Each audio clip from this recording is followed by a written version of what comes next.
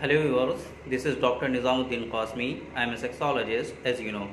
Friends last की कुछ videos में हमने डिस्कस किया था ओलिगोस्पर्मिया और एजो एजोस्पर्मिया के बारे में ओलिगोस्पर्मिया क्या होता है इन सब चीज़ों पे हमने डिस्कस किया था स्पेशली हमने आपको बताया था कि वो क्या क्या कॉजेज़ होते हैं जिसकी वजह से ओलिगोस्पर्मिया या एजो एजोस्पर्मिया किसी शख्स में होता है इसी तरीके से हमने ट्रीटमेंट और उनके सिम्टम्स साइन वगैरह के बारे में डिस्कस किया था कॉजेज़ में हमने स्पेशली बताया था कि जिन लोगों में ओलिगोस्पर्मिया या एजोस्पर्मिया डेवलप होता है फोर्टी परसेंट केसेज में आमतौर पे देखा गया है जिन लोगों को ओलिगोस्पर्मिया या एजोस्पर्मिया होता है, उनमें से 40 परसेंट लोगों में इसका जो मेन कोज पाया गया है वो वरिकोसील पाया गया है। वरिकोसील क्या होता है? इसके बारे में भी हम ऑलरेडी डिस्कस कर चुके कर चुके हैं।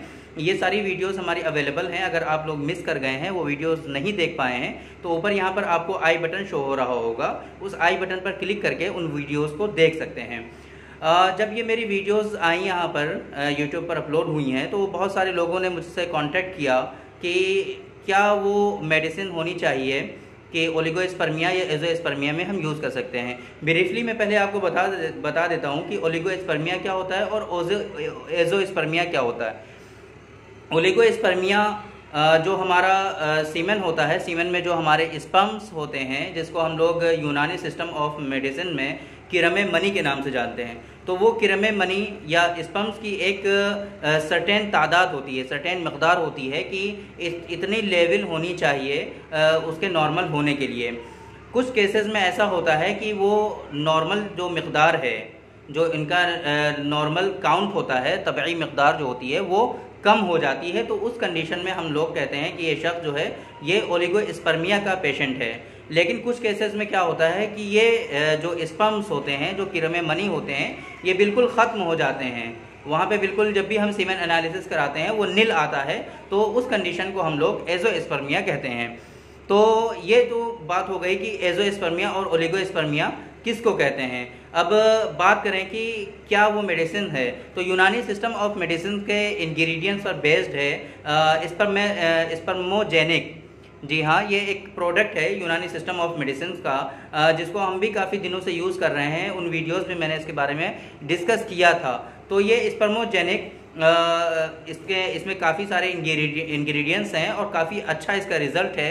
और दो ग्राम मॉर्निंग में, दो ग्राम इवनिंग में इसको यूज़ करना होता है मिल्क के साथ। तो तीन महीने के यूज़ करने के बाद इन जो चाहे वो ओलिगोस्पर्मिया हो या एजोस्पर्मिया हो स्पम काउंट का जो नॉर्मल मकदार होता है, जो तबी रेंज है, वो नॉर्मल हो जाती है तीन महीने के इस्तेमाल करने के बाद।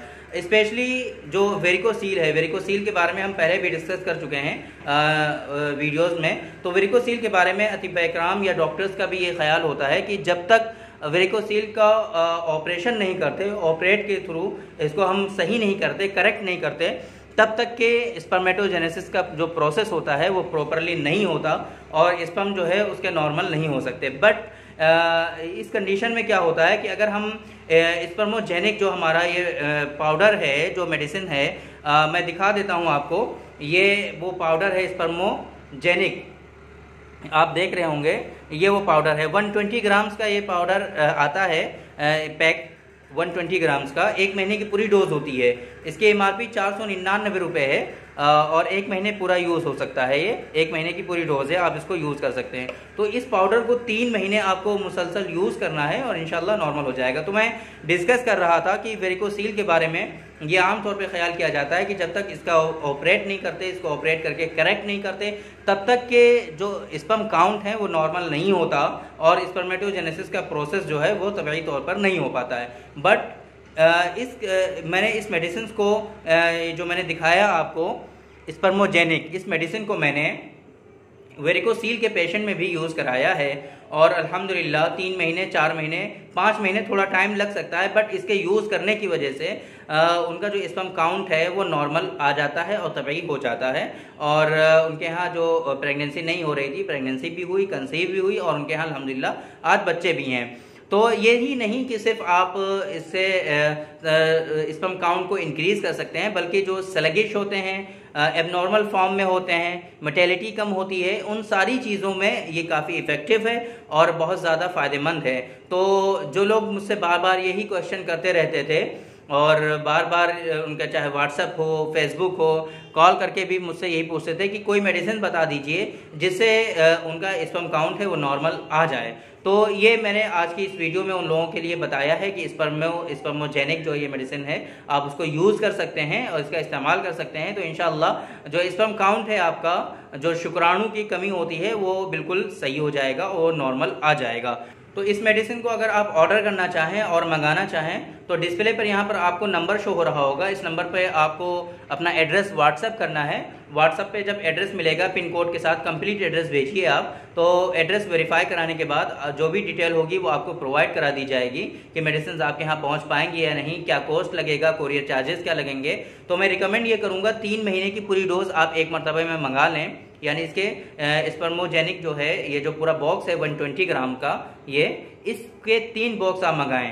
तो इसके साथ में क्या होगा कि बार बार आपका जो कोरियर चार्ज कोरियर चार्जेस जो आपको पे करने पड़ेंगे, वो उससे आप छुटकारा पा जाओगे।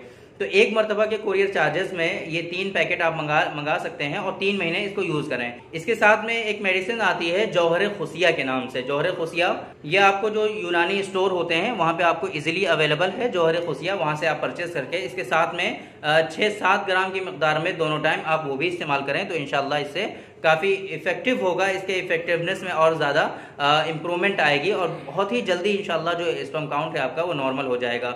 तो थैंक यू वेरी मच आज की इस वीडियो में इतना ही.